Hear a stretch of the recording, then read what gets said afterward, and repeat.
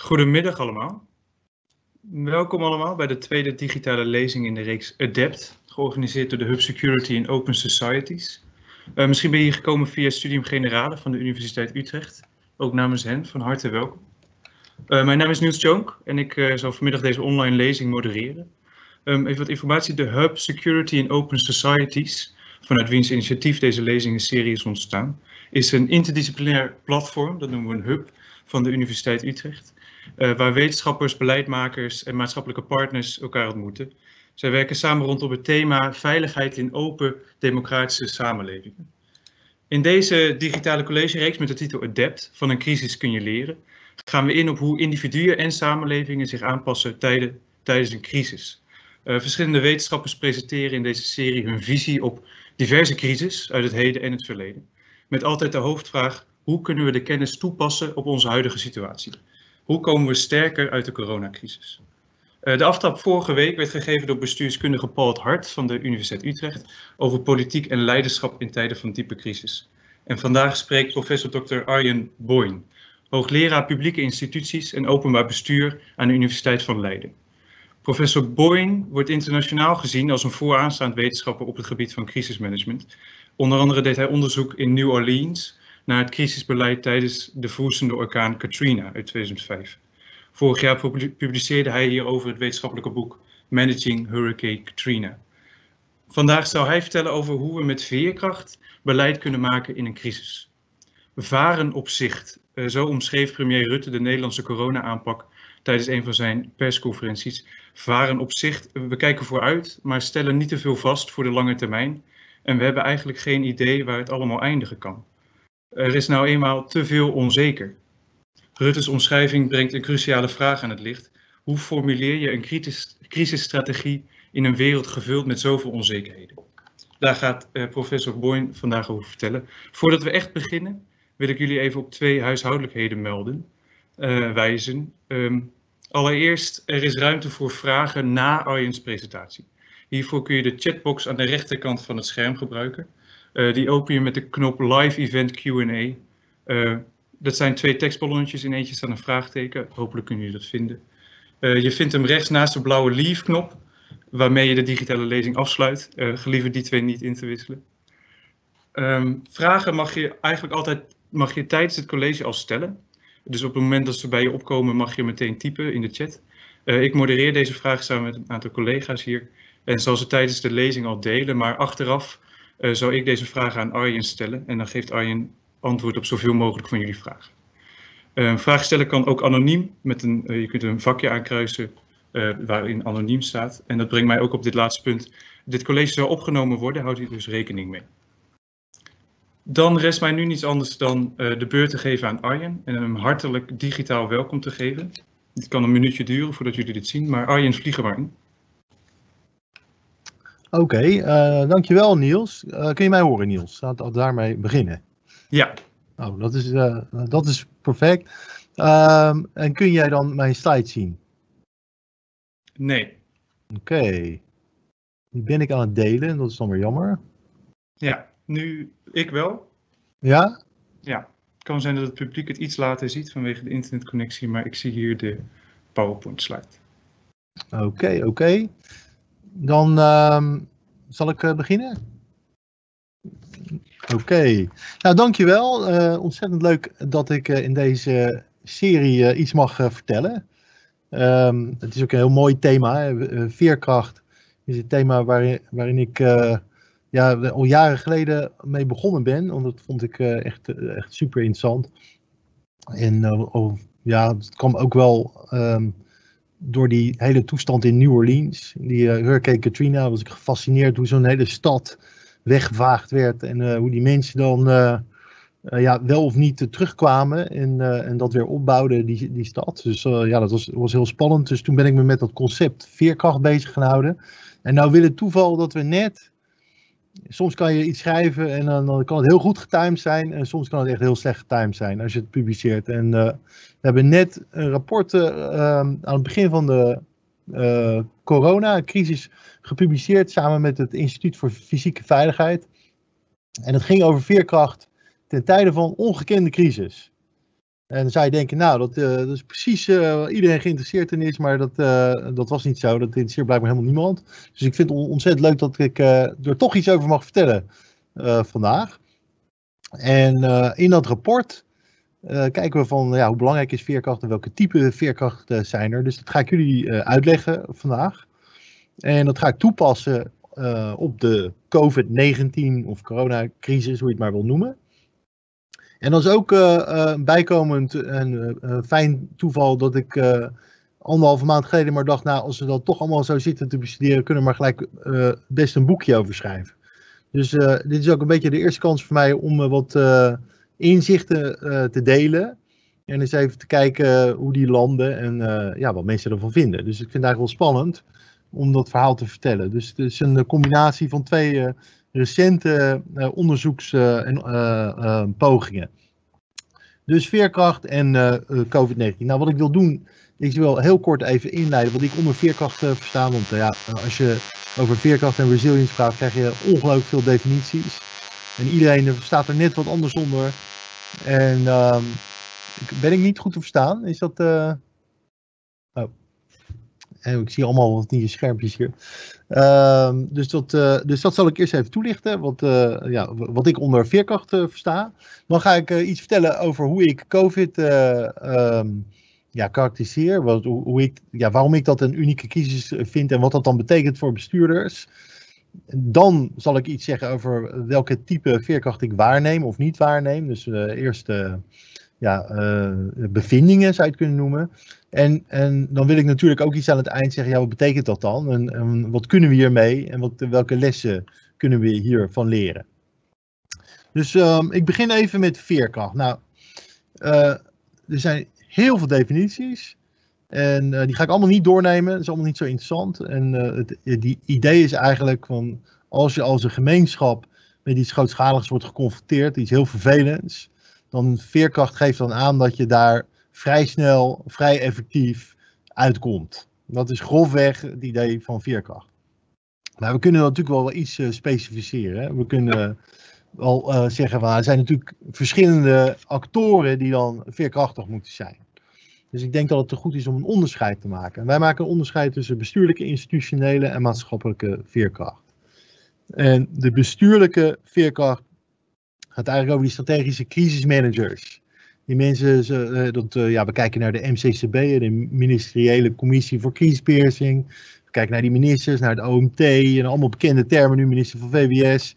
Dus uh, de NCTV, allemaal die afkortingen, dat is, nou, dat zijn, die moeten dan veerkrachtig zijn. Want ja, die, die moeten in een hele moeilijke situatie in één keer allerlei respons gaan formuleren.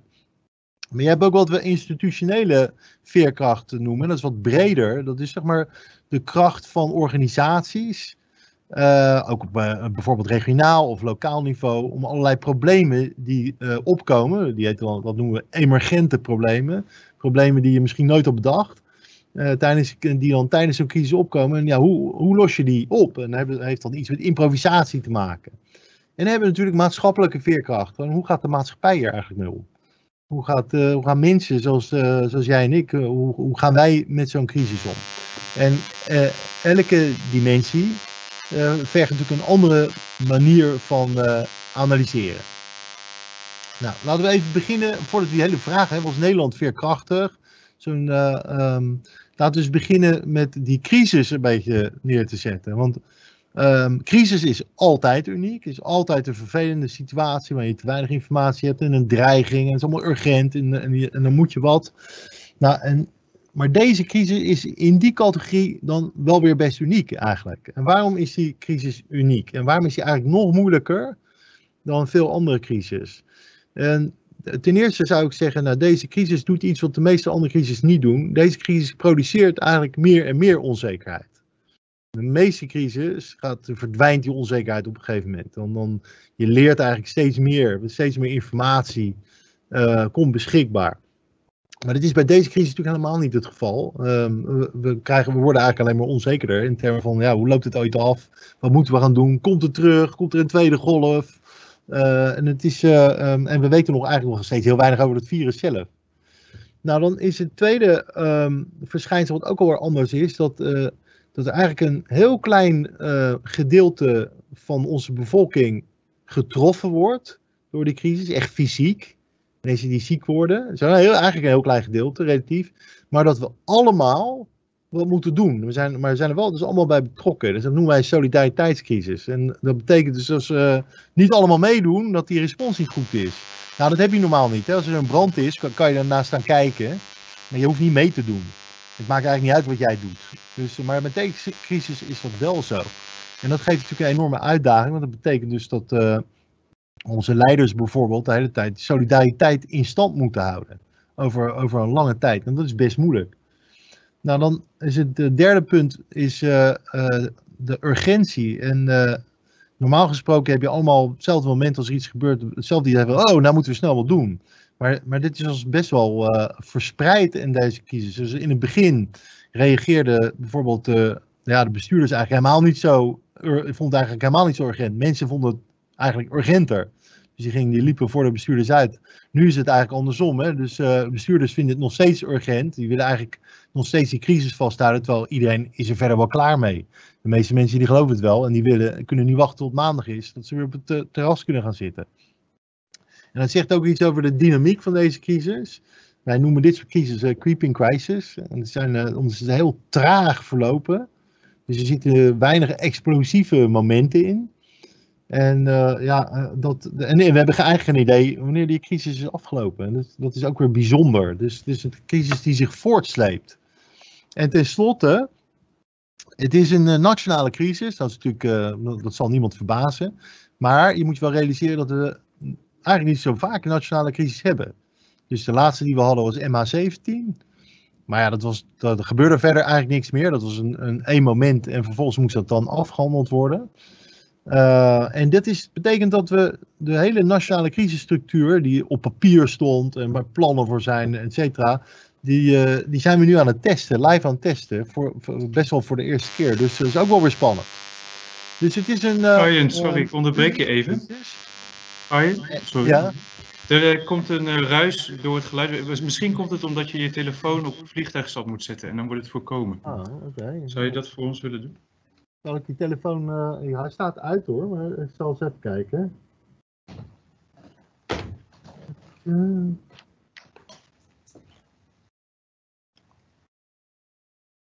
okay, nou, die staat op airplane mode, dus dat kan het niet meer zijn. Nou, dan gaat het dan verder. Maar helpt dat nu?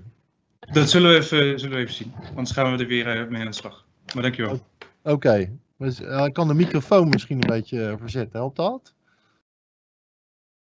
Nou, het komt af en toe op in een vlaag en dan gaat het weer weg. Dus het leek okay. wel iets dat het niet kwam. Maar nou, bedankt voor dit. Excuses daarvoor. Um, nou, laten we dan eens even kijken naar de bestuurlijke veerkracht. En uh, hoe die, uh, hoe die bestuurders dat dan gedaan hebben. Hè? Dus die werden geconfronteerd met zo'n crisis, die moesten daar wat mee.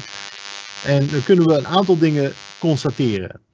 Um, ten eerste, eigenlijk kun je zeggen dat de herkenning en de benoeming van deze crisis als crisis toch wel een beetje uh, traag is geweest. Een beetje langzaam.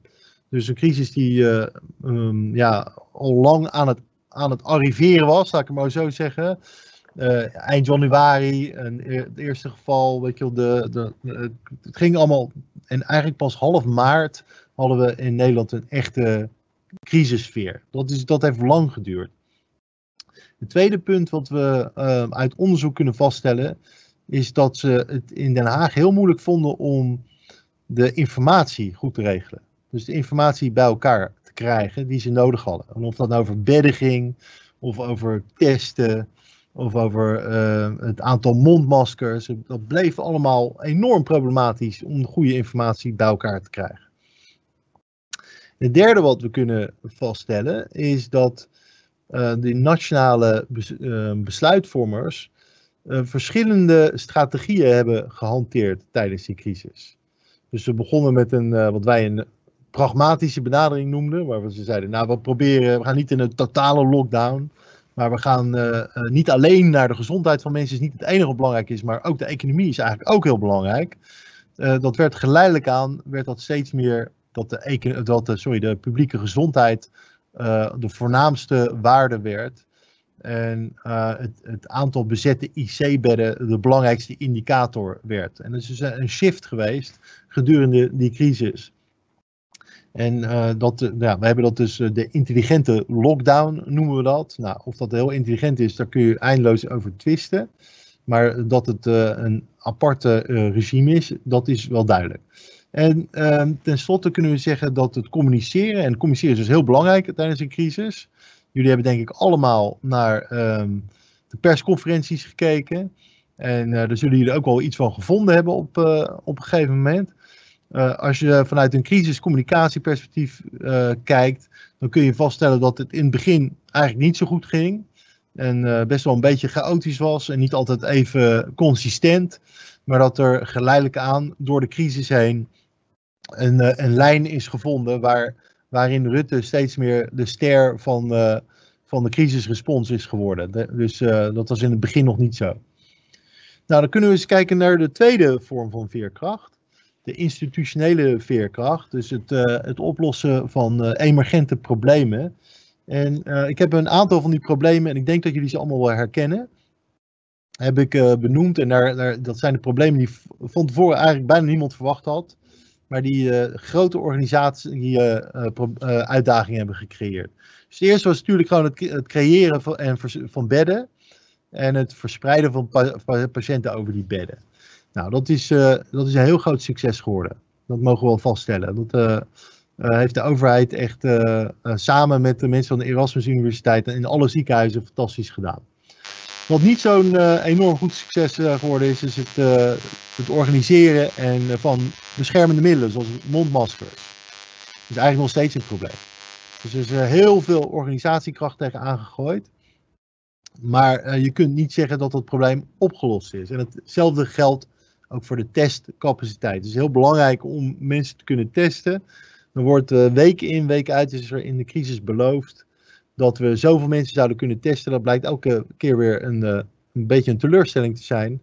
En vanaf 1 juni zouden we dan, iedereen zou dan getest moeten kunnen worden. Dus dat wordt uh, best wel interessant om te zien of dat volgende week het echt dan het geval is. de ondersteuning van de economie was natuurlijk een probleem wat heel snel opkwam en uh, met overweldigende slagkracht uh, ter hand genomen is. Dus echt ongelooflijk veel en heel snel heel veel bedragen voor heel veel mensen beschikbaar gesteld. Dus dat is indrukwekkend hoe de uh, nationale regering dat gedaan heeft. En tenslotte iets wat waar weinig mensen ook voor hebben gehad, is de best complexe operatie, de repatriëring, het terughalen van Nederlanders uit het buitenland. Dus er zijn honderdduizenden mensen die nog in het buitenland zaten toen alle grenzen dichtgingen. En dat moest toch georganiseerd worden om die terug te halen. En we hebben natuurlijk wel de probleemgevallen gehoord, van de mensen die in Marokko zaten bijvoorbeeld. Maar we hebben weinig gehoord over alle successen en die waren er echt. En dat is best knap gedaan hoor, dat, uh, uh, dat, dat organiseren daarvan. Nou, uh, de uitdaging die, die hier als een soort paradox uitkomt, is als je institutioneel enorm hebt ingezet om problemen uh, centraal aan te sturen en te regelen en daar ook gedeeltelijk succes in bent, is de verleiding natuurlijk groot om die hele crisis centraal te blijven regelen. En uh, um, dat zie je nu ook al, hè, nu we naar de versoepeling gaan. Dus dat uh, de overheid alles gaat protocoleren. En de overheid het blijkbaar toch moeilijk vindt om het los te laten en terug te schuiven naar bijvoorbeeld de regio's en het lokale bestuur. Dus dat wordt best wel een uitdaging, denk ik, voor de overheid. Nou, tenslotte dan de maatschappelijke veerkracht. Um, nou, dat gaat over het solidariteit en met z'n allen voor elkaar. Um, er zijn natuurlijk altijd mensen die zich daar niet aan houden, prima. Maar het gaat om het grote, grote meerderheid. En nou, dan kunnen we een, een aantal dingen vaststellen. Dat is natuurlijk heel goed gelukt, de, door, over de hele genomen. De zorg heeft een waanzinnige prestatie geleverd. Um, uh, niet alleen in de ziekenhuizen, maar ook in de verpleeg, verpleeghuizen burgers en het bedrijfsleven hebben zich heel coöperatief uh, op, opgesteld, denk ik. Er zijn ontzettend veel uh, initiatieven uh, in de samenleving op te merken van mensen die zelf dingen hebben opgepakt. Dat is ook fantastisch. Waardoor eigenlijk de politie bijvoorbeeld en de BOA's niet heel strikt hebben hoeven toezicht te houden en hebben hoeven afdwingen. En dat hebben ze natuurlijk wel moeten doen, maar we hebben niet een soort politiestaat um, hoeven creëren. En dat is best bijzonder. Dus dat uh, zou ik uh, ja, best wel succesvol willen. Dus mijn, mijn eerste oordeel Dus ik het zo een beetje uit de losse hand zou moeten doen. En ik ben benieuwd wat, wat jullie daarvan vinden. Dus ik zou zeggen, ja, ehm, als je het zo bekijkt en als je de uitdagingen ziet. En als je ziet wat er dan wat ze gepresteerd hebben, kun je zeggen, nou, we hebben het eigenlijk niet zo slecht gedaan Nederland. Dat zou op dit ogenblik. Nou, dan kan je van alles, je kunt het al, van alles op afdingen, maar al met al. Um, het is onder controle gebracht, de legitimiteit is nog groot en uh, we zijn op weg naar de uitgang. Nou moet, heeft dat natuurlijk wel ontzettend veel gekost in termen van mensenlevens en in termen van budgetten. Dus dat moet je daar dan bij in beschouwing nemen. En tenslotte moeten we dan ook wel vaststellen, ja, de echte uitdagingen, die komen misschien nog wel. We zijn nog niet uit de crisis. Dus grote uitdagingen die eh, komen misschien wel met het inrichten van een nieuwe samenleving. En wie weet een eh, tweede, misschien wel een derde golf. De drie lessen, en dat is het laatste wat ik uh, dan te zeggen heb. Ehm, die je hieruit kunt destilleren. Er zijn er denk ik meer, maar dit zijn degene die, die ik nu ehm, zeg maar het meest in het oog vind springen is dat we zouden, als we ergens in investeren, is het niet zozeer, als je over veerkracht wordt er vaak over maatschappelijke veerkracht gesproken, maar dat zit eigenlijk wel goed in Nederland. Ik denk dat we meer zouden moeten investeren in de bestuurlijke veerkracht, want er zijn toch een aantal dingen niet zo goed gegaan. En ook wel in de institutionele veerkracht, want een aantal van die problemen, eh, waar we het net over hadden, die, die eh, ja, hebben we dan toch niet goed op kunnen lossen. Dus daar, eh, dat probleemoplossend vermogen, daar zouden we iets mee kunnen doen. De tweede is de, de rol van het lokaal bestuur is een, uh, ja, die is een beetje in deze crisis weggevallen. Die is echt een nationale crisis geweest. En uh, je kunt je afvragen of het lokaal bestuur niet een, te lang buiten beeld gebleven is. En ja, wellicht wel onderbenut. Misschien hadden we daar meer mee kunnen doen. Dat vind ik een interessante discussie. En tenslotte denk ik van, uh, ja, en dan sluit ik dan maar mee af, omdat we straks richting de verantwoording gaan. En dan krijgen we natuurlijk allemaal kritische verhalen over uh, hoe het allemaal beter had gekund en wie er eigenlijk verantwoordelijk was voor wat. En uh, et cetera, et cetera. En de OVV gaat ook een rapport schrijven. en dan denk ik van ja, dan worden er achteraf wel criteria verzonnen van, van hoe het eigenlijk had gemoeten en hoe goed het was geweest. Maar ik denk dat we dat soort discussies eigenlijk beter voor een crisis kunnen hebben zodat we met elkaar van tevoren afspreken.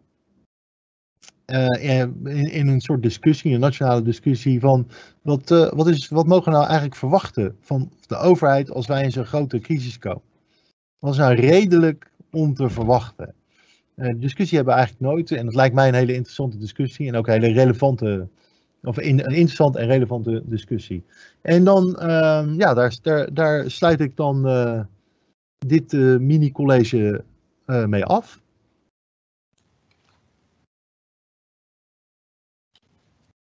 Oké, dankjewel Arjen. Bedankt voor je heldere verhaal en interessant. Ik zou willen beginnen met een eerste vraag van mijn kant, maar de Q&A staat nog open voor alle, alle kijkers.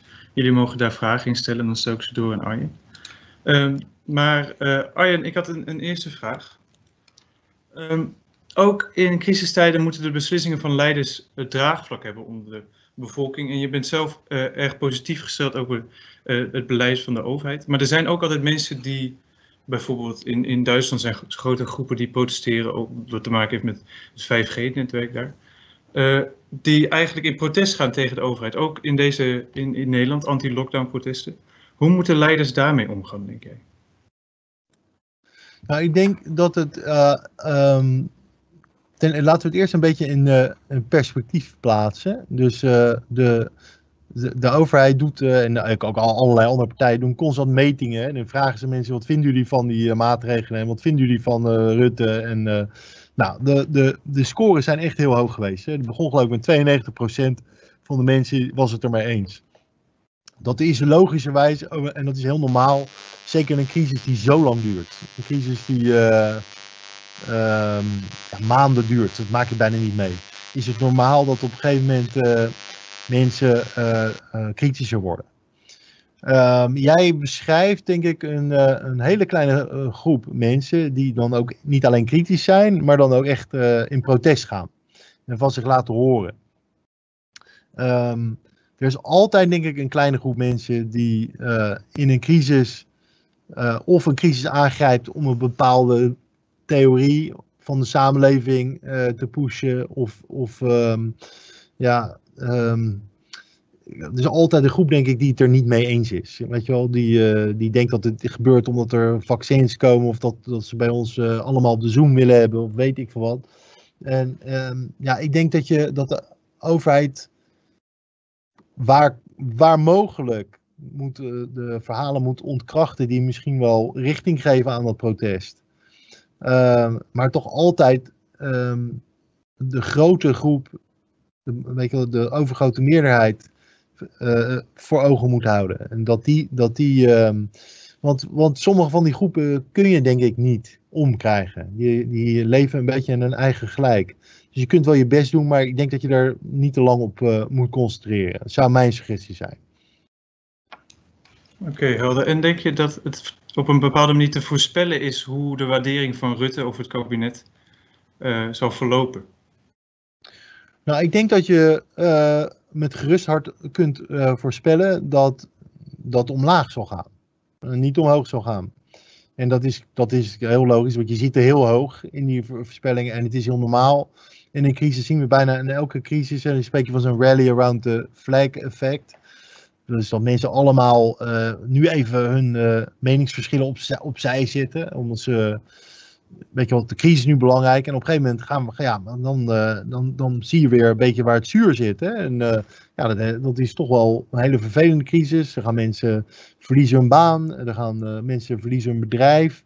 En dan komt de kritiek ook. En die kritiek zal komen. En die kritiek zal zich ook richten op Rutte. Want is natuurlijk de meest zichtbare persoon in deze crisis. Dus dat, dat wordt dan de personificatie van de respons. En dan, uh, ja, die kritiek achteraf, die, uh, die krijg je altijd. Hè. Het had eerder gekund, het had beter gekund. Dus uh, de politici die zich in het begin nog een beetje gedempt hadden, of gedijst hielden, zo omdat het ongepast zou zijn om leiders aan te vallen in een crisis, die, die zullen zich minder geremd voelen. En de verkiezingen komen eraan. Dus ehm, je kunt denk ik wel ervan uitgaan dat Rutte niet ongeschonden uit deze crisis gaat komen. Oké, okay, bedankt. En een vraag uit het publiek. Uh, je vertelde over het improviseren uh, met wisselend succes. En dat is improviseren. Had dat een kwestie van voorbereiding kunnen zijn in plaats van improvisatie? En hoe? Nou, het is, uh, overheid heeft natuurlijk uh, heel veel voorbereid. Voor, ook voor pandemieën. En ehm, en het probleem eigenlijk zit, er, zit erin dat de draaiboeken die er natuurlijk waren, en die waren ook getest voor uh, HN, uh, H1N1 en bij eh, ebola en MERS en, en, en die werkte toen, dat die eh, draaiboeken eigenlijk um, al snel niet meer ter zake deden, omdat de verspreiding van het virus veel verder was gegaan dan in die draaiboeken ooit rekening mee was gehouden. En toen moest de overheid al gaan improviseren met uh, bijvoorbeeld social distancing. Wat wij nog nooit gedaan hebben in Nederland. En wat eigenlijk bijna nooit ergens gebeurt. Nou, toen kwamen er dus problemen die, uh, die je enig, die je misschien had kunnen voorzien. Dus daar zullen we achteraf wel. Eh, maar hoe dan ook, daar waren problemen. En die moet je dan gaan oplossen. En dan is in dit geval, Nederland heeft er gekozen om dat als overheid op te lossen. Je had, het ook, je had ook de markt het kunnen laten oplossen. Je had bijvoorbeeld ook kunnen zeggen, nou we gaan gewoon heel veel geld tegenaan gooien en laat de markt dan maar mondmaskers regelen. En waar ze, waar ze het vandaan halen, halen ze het vandaan. Daar hebben wij niet voor gekozen. We hebben daar een centrum voor opgericht. We hebben, um, en dan krijg je dus iets wat de overheid gaat dan iets doen waar ze doorgaans niet zo goed in is. En dat is uh, ja, op te proberen iets uh, ergens vandaan te regelen. Dat is natuurlijk niet de kracht van de overheid. Dus dat, uh, dat ging ook niet zo goed. Um, kan dat beter? Ja, als je voor de volgende keer een heel plan hebt hoe je mondkapjes gaat regelen, dan zal dat ongetwijfeld beter gaan. Maar bij de volgende crisis moeten we natuurlijk iets anders regelen. En uh, dan is weer de vraag of, of, of we dat dan beter gaan regelen. Ik, dat waag ik te betwijfelen, omdat het niet in het DNA van de overheid zit om dit soort problemen op te, goed op te lossen. Dus, dus ehm, ik denk dat we beter kunnen proberen om van tevoren te bedenken hoe we met de private sector samen kunnen werken om bepaalde problemen op te lossen. Bijvoorbeeld denk aan logistiek. Hè? Dus uh, supermarkten zijn enorm goed in logistiek. Dat doen ze elke dag, dag, nacht. Dus dat, moet je niet, dat wiel moet je niet zelf gaan uitvinden. Dat moet je met supermarkten moet je gaan werken over, met logistiek. Um, nou, dat is dat soort dingen. Dus het gaat eigenlijk meer om de mechanismen waar je dan over na kunt denken, dan over de specifieke problemen. Oké, en daar, moeten, daar is een rol voor weggelegd voor de andere grote instituten, partijen, uh, uh, private partijen eigenlijk in onze samenleving. Nou, denk ik wel, ja. Dat zou, dat zou ik, um, Nederland is nooit uh, zo goed om tijdens een crisis de private partijen erbij te betrekken. Dus dat, um, dat wil niet zeggen dat zij alle oplossingen hebben, begrijp me niet verkeerd. Maar het, het gaat erom dat zij bepaalde vaardigheden hebben, of skills, of um, capaciteiten, of misschien ook wel middelen, waarover de overheid niet beschikt.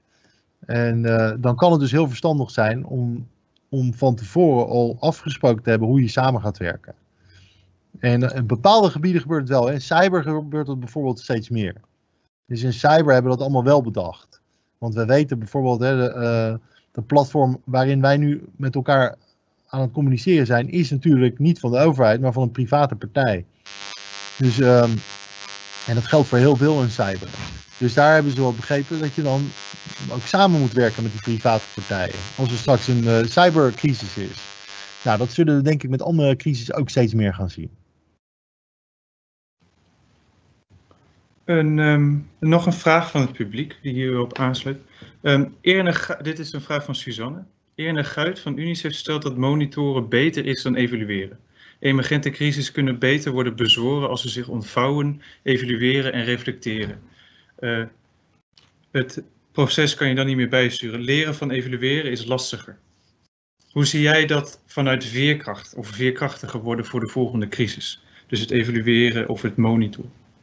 Nou, het is natuurlijk een heel goed idee, zeker als een crisis uh, zich over de tijd heen uitstrekt, dat je al tijdens je crisis probeert te leren. Dat je dan niet gaat wachten tot het allemaal voorbij is. Ik denk dat ik denk dat, dat hier bedoeld wordt uh, door de vraagstelster.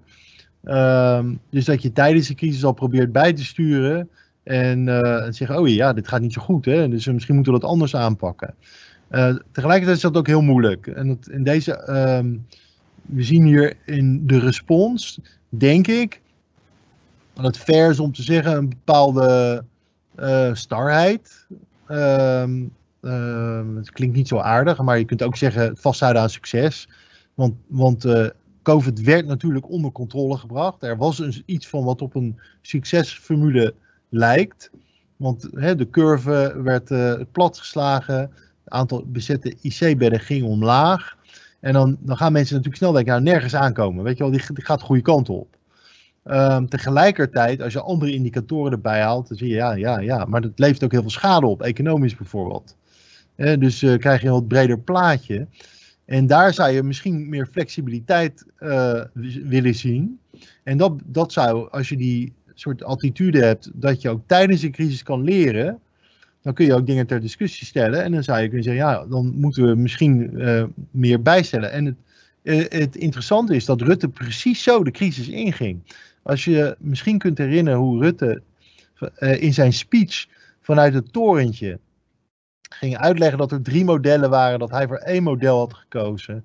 En dat hij aan de hand van data dat hij wel aan de knoppen zou draaien. En dat, hè, we zouden dan meer minder krijgen. Dat is, dat is eigenlijk een hele flexibele benadering. Maar die is langzamerhand dus verstart.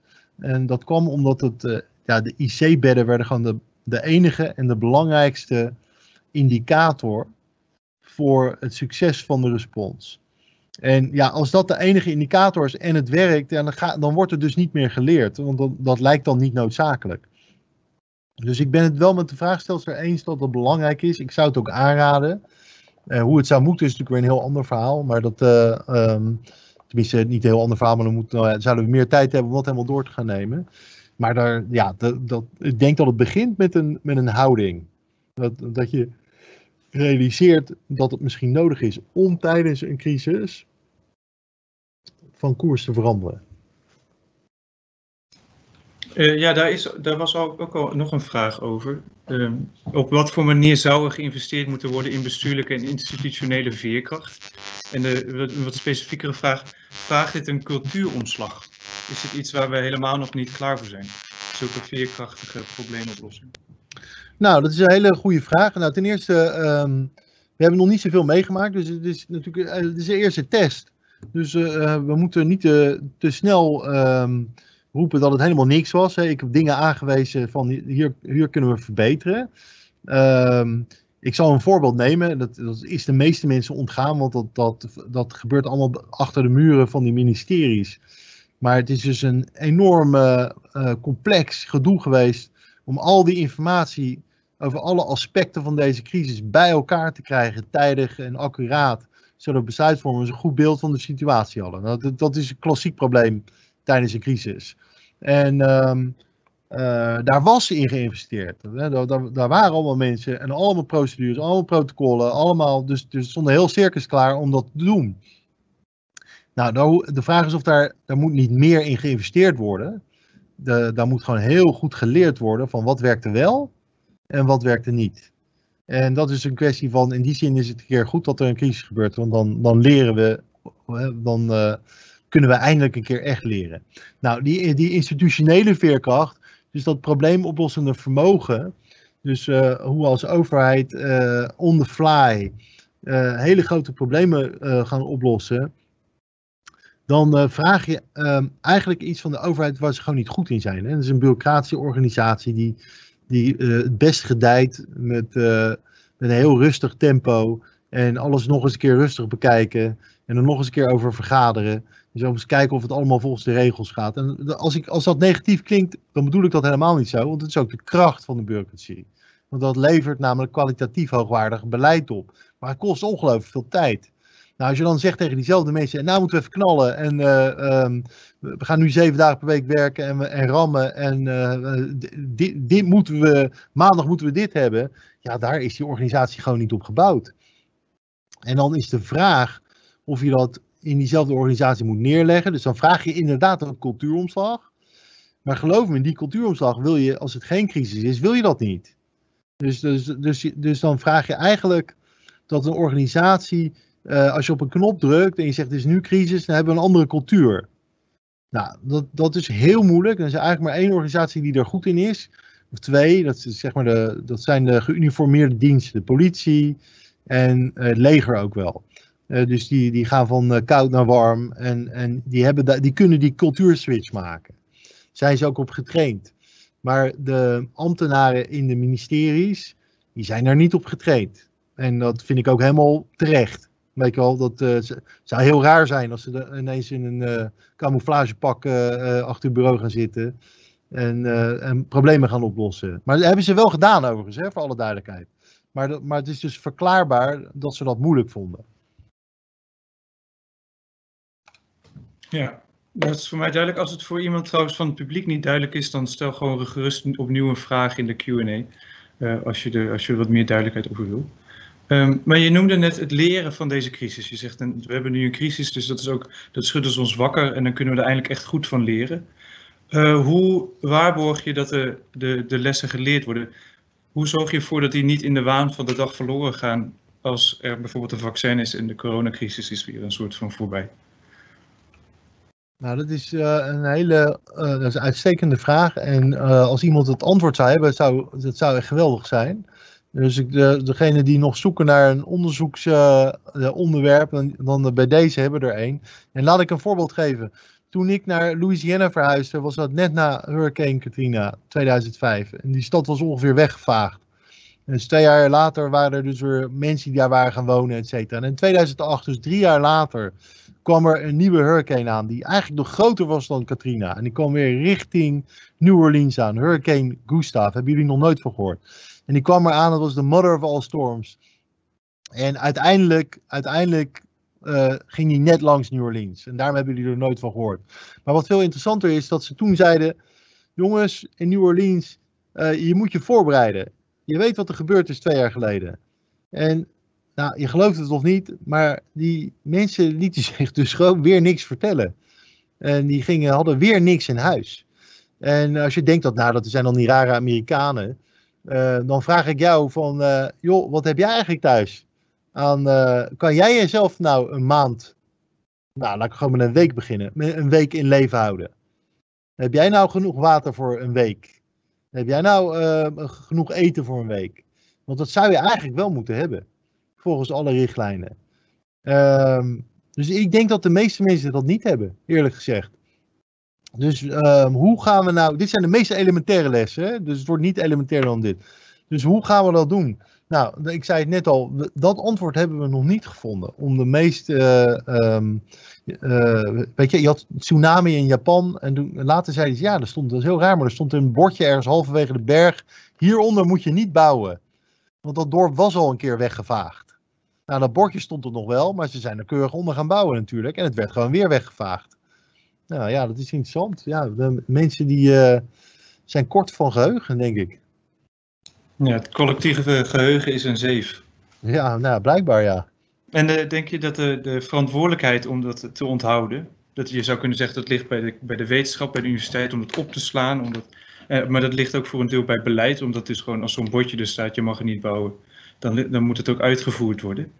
Um, maar als jij dan uh, iemand erop aan zou kunnen spreken nu, een, een, zou het dan een minister zijn of zou het dan een wetenschapper zijn? Of zou het een, een, een mediapersoonlijkheid zijn om de, om de boodschap naar buiten te dragen? Nou, het is uh, um, heel fijn. Ik bedoel, de wetenschap heeft eigenlijk in deze crisis, denk ik, uh, weer een soort wederopstanding uh, beleefd. Hè? Dus um, je hoort Rutte nu zeggen van alles wat het OMT zegt is heilig. Nou, dat is, is heel bijzonder, want als een van die wetenschappers voor de crisis Rutte op een onomstotelijk wetenschappelijk bewijs had gewezen dat bijvoorbeeld het roken van sigaretten kanker veroorzaakt, dan had hij niet geroepen, dat, dat is heilig advies voor mij, ik verbied gelijk al het roken. Dus dat uh, hadden we niet meegemaakt, denk ik. Dus we hebben in zekere zin een hele uh, interessante wending.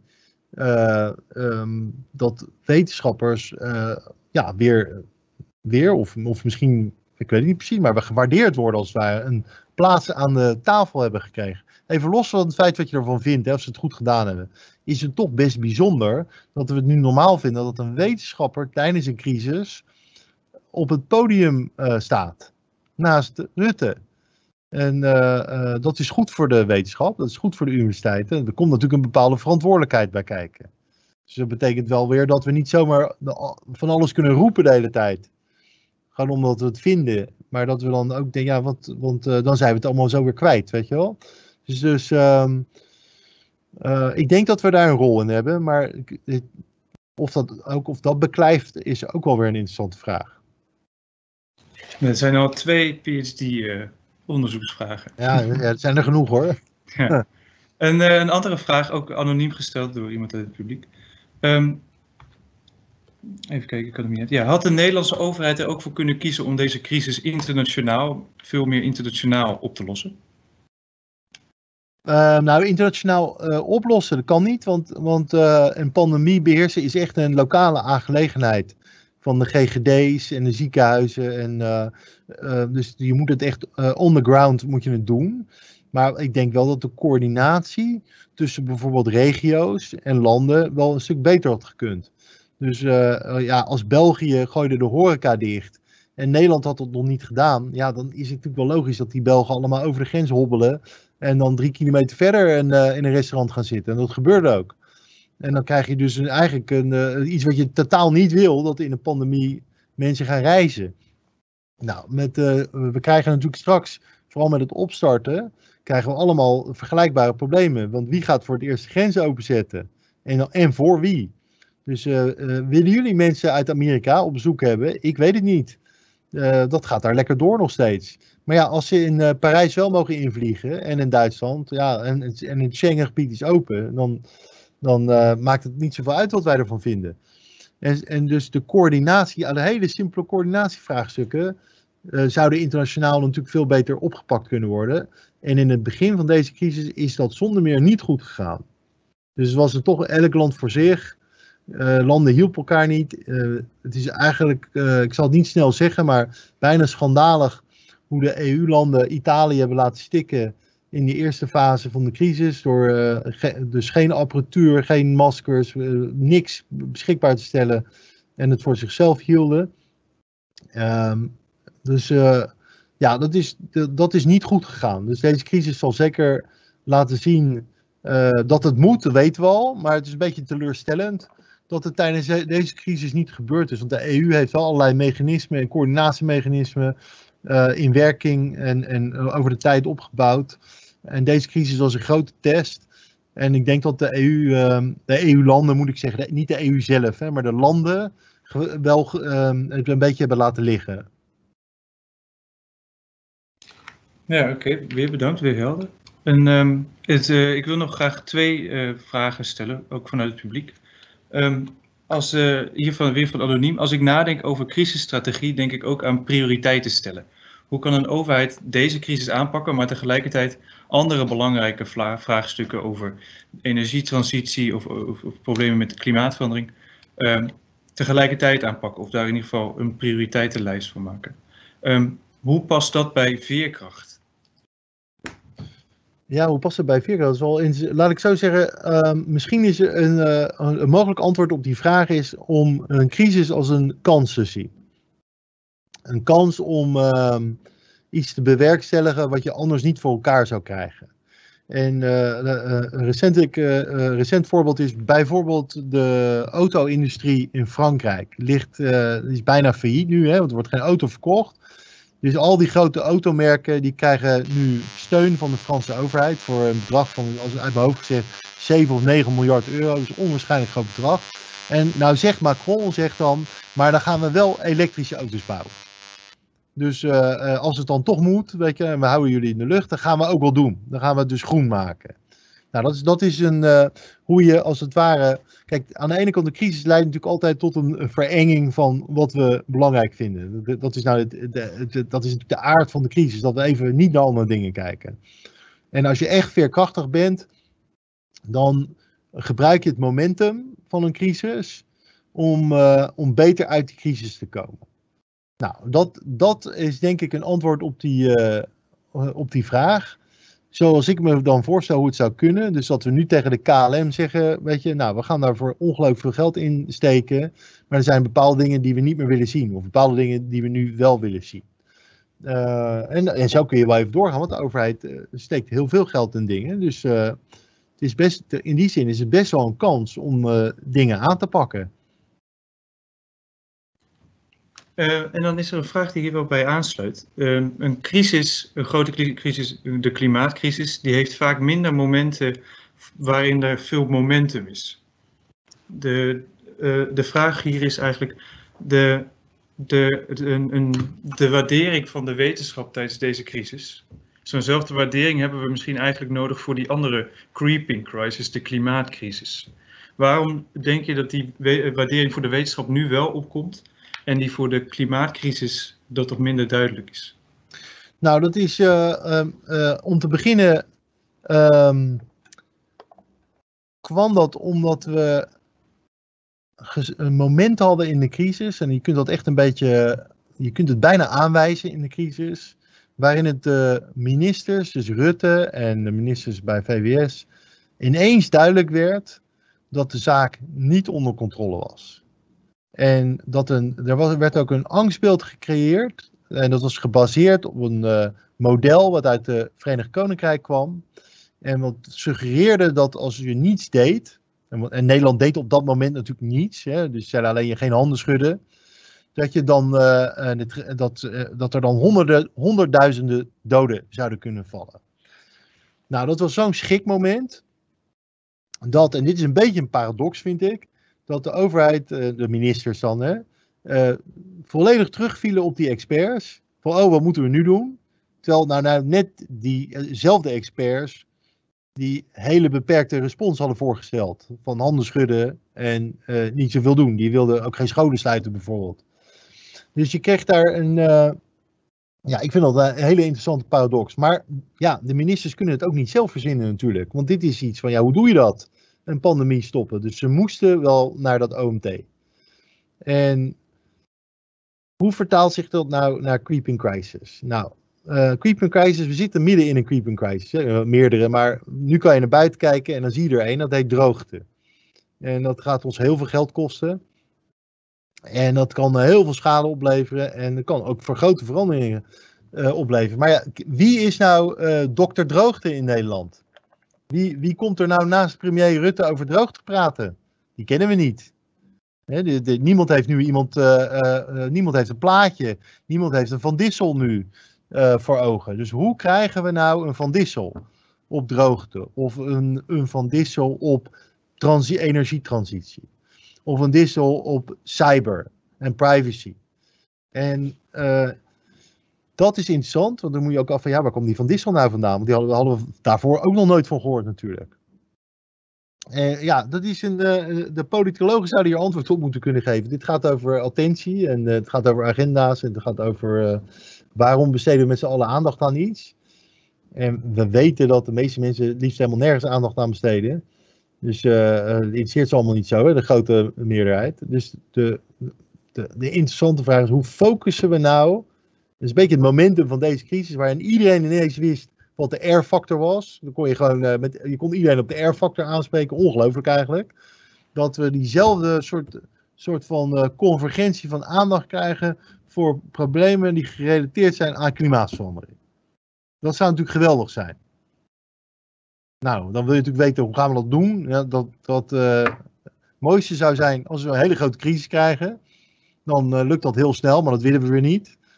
Dus uh, dat, daar zit ook weer een beetje spanningsveld in. Dus ik, kortom, ik heb daar geen antwoord op. Ja, nog niet, dat heb je ook nog niet. Nee. Ja. En de, uh, de toevallig hoor, is er uh, een hydroloog van de Universiteit Utrecht, Nico Wanders. Dat is een expert op gebied van droogte. Maar ik snap dat jouw vraag retorisch was hoor. Maar ja, als mensen nu thuis zaten, inderdaad. Als ze iemand hebben, heel graag. Maar ik snap dat je vraag retorisch is. Ik heb nog één laatste vraag en dan wil ik het daarna afsluiten. Uh, met jouw uh, kennis, Arjen, en jouw expertise, hoe houd je jezelf optimistisch over het toekomstige loop van onze huidige situatie? Misschien ben je helemaal niet optimistisch, maar...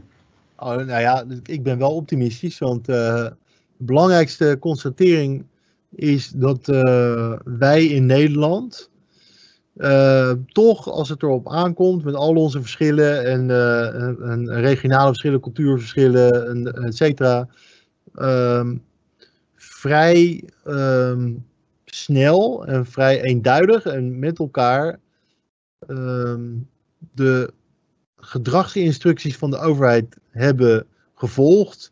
Zonder die gewoon klakloos te volgen, maar er ook in mee te denken en dan te zeggen met elkaar, nou dat is dan best redelijk. En uh, dat, doet mij dan, uh, dat maakt mij optimistisch.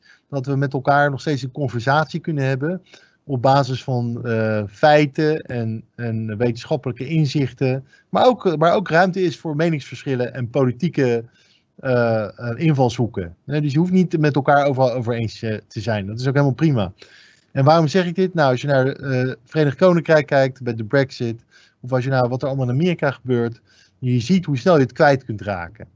En, en ik ben, ben, bijvoorbeeld helemaal niet optimistisch over de Verenigde Staten. Dat, uh, daar ben ik absoluut niet optimistisch over. Die crisis is niet onder controle daar. Die krijgen ze ook zo niet onder controle. Dus uh, we weten ook helemaal niet hoe dat daar gaat aflopen. En uh, daar, daar kan ik me wel zorgen over maken. En dan denk ik, nou, dan, dan, hebben wij het in Nederland. Dat zat ook in een van mijn slides. Dan hebben we het best aardig gedaan. Weet je, dan ga ik echt niet zeggen dat we negen hadden of weet ik wat allemaal. Maar vind ik, nou, en dat, dat stemt mij dan optimistisch. Want als we van tevoren hadden gezegd, uh, joh, je krijgt in één keer een pandemie op je dak. Uh, zomaar, out of the blue. Wat zou, wat, waar zou je dan tevreden mee zijn?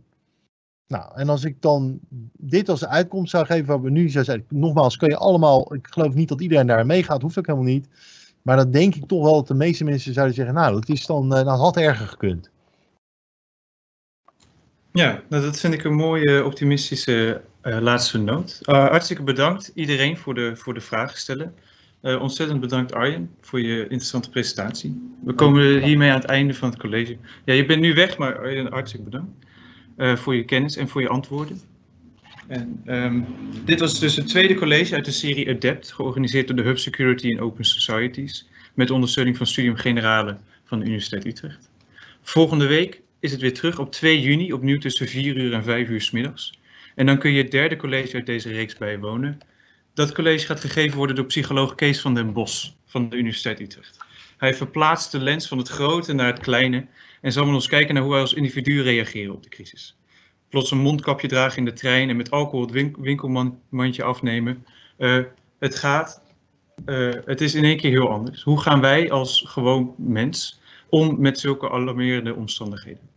Uh, dat belooft opnieuw een interessant college te worden, met dan ook weer ruimte voor vragen aan het eind en discussie. En we zien jullie allemaal graag terug.